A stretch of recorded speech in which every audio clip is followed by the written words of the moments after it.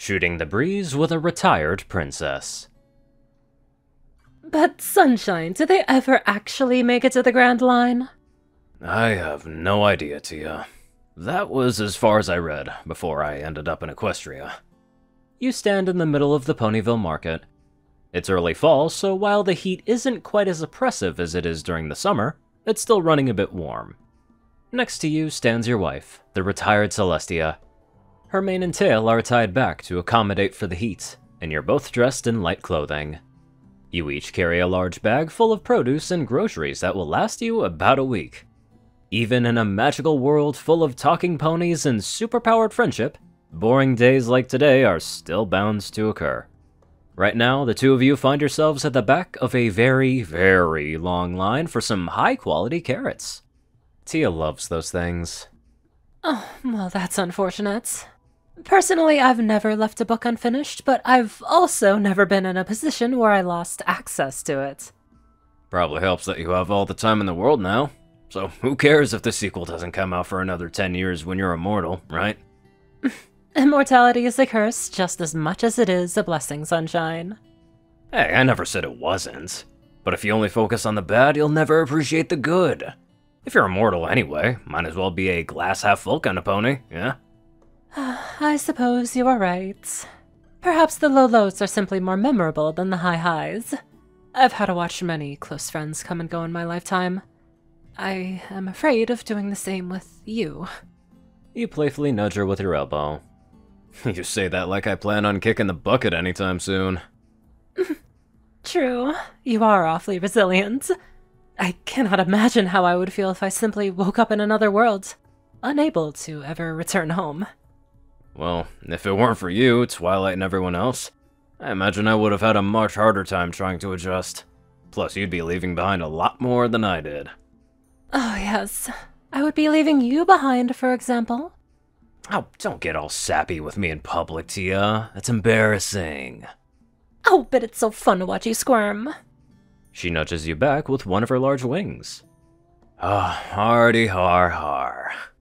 Anyway, these carrots are the last thing on our list, right? Well, let's see. Using telekinesis, she removes a neatly folded piece of paper from her bag and begins reading from it. Oats? I've got two boxes. Pear jam? Got a fresh jar right here. Eggs? And butter, and flour, and baking powder, and salt, and sugar, and vanilla, and icing. Yes, I have everything I need to bake a cake. Well, those were the next seven things on the list, so good job, I guess. Gosh, am I really that predictable?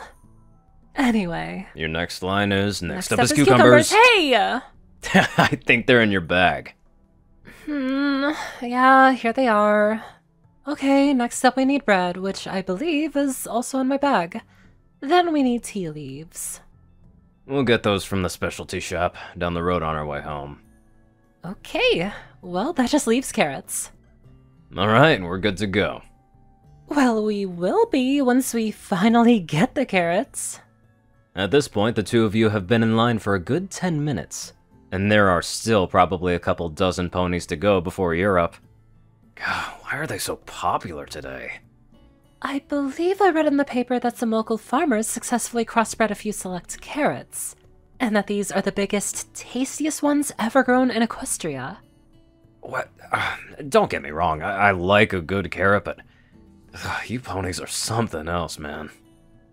I believe we ponies have a much bigger issue with your old diet than you do with our fondness for vegetables. Hey, I went vegetarian after I realized that would be a problem here. Oh. I'd never bothered to ask before, but how was it? To be completely honest, I find the idea of eating meat to be aberrant. But I imagine it was fairly normal for you before you showed up in Equestria. Oh yeah, it was super normal. I never really thought twice about it. I mean, there were some ethical questions about the treatment of livestock, and there are definitely humans who hate the fact that other humans eat meat at all. But our bodies were made for it.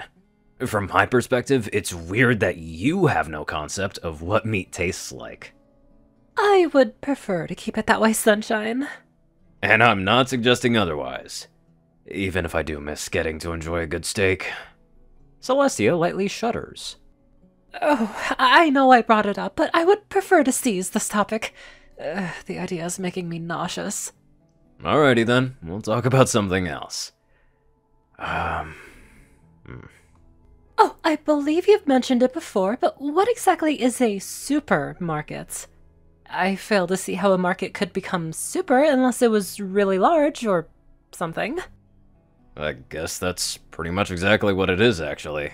It's a really big building with rows upon rows of food and stuff, more or less. Oh? How does every pony set up all of their stalls in one large building? That sounds like it would be a logistical nightmare. Well, that's the thing. There aren't any stalls. All of the food is sold by the company that owns the building. They produce all of that food. Well, not quite. The system of food production, distribution, and acquisition is a bit complicated, especially for a fic. Uh, for a what now? Don't worry about it. Long story short, it's pretty different from the markets we have here in Equestria. Oh, you humans have such advanced technology. Yet I cannot wrap my head around why you make some of the decisions you do in spite of that. I'm right with you, Tia. Personally, I prefer the way it all works here. I would say the same if I had any frame of reference for what it's like in worlds that aren't this one. It's probably safe to assume the worst. Well, that doesn't sound very glass half full of you, Sunshine. Ah, there's a reason. But that's a long story for another time. You both look forwards towards the stall. The line has barely moved. It looks to me like we have all the time in the world, love. Alright, second excuse. I'd rather not talk about it. Well, that just makes me even more curious. Ah, okay. Let's just say that the people in charge in other worlds aren't exactly as compassionate as ponies like you. Heck, even Ember would look like a saint compared to some humans. Oh, Ember's a nice dragon beneath that tough exterior, Anon. I know. Meanwhile, humans are rotten to the core. Must I be optimistic for your own species on your behalf? Hey, what's done is done. I'm an equestrian human now, and I couldn't be happier. Can't we just leave it at that? Fine. Do you have any other stories to tell in the meantime, then? you place a finger to your chin as you think of another story to tell. You briefly glance ahead. You two are going to be in this line for a while. So, it's the 31st millennium, and there's this guy named Horus. Go on. Uh, ah, no. Eh, I changed my mind about opening that can of worms. Oh, very well then. Uh, perhaps I shall tell the story this time. Have I talked about the time I convinced Luna that the moon had exploded? What? No, no, you didn't. W when did this happen? well, this was only a few months after we took over the burden of raising the sun and the moon. Oh, the look on her face as I magically held the moon below the horizon while she tried to pull it up. So there I was, right as it was time to lower the sun. The two of you continue on discussing whatever comes to mind for the next couple of hours as you wait in a painfully long line. Life in Equestria isn't always exciting, but with the right company, even the most mundane moments can be made fun. And how lucky you are to have a wife that loves spending time with you this much. And Cadia broke before the guard did. I I'm sorry, Sunshine. Can you reiterate to me why Abaddon wanted to destroy this Cadia place specifically?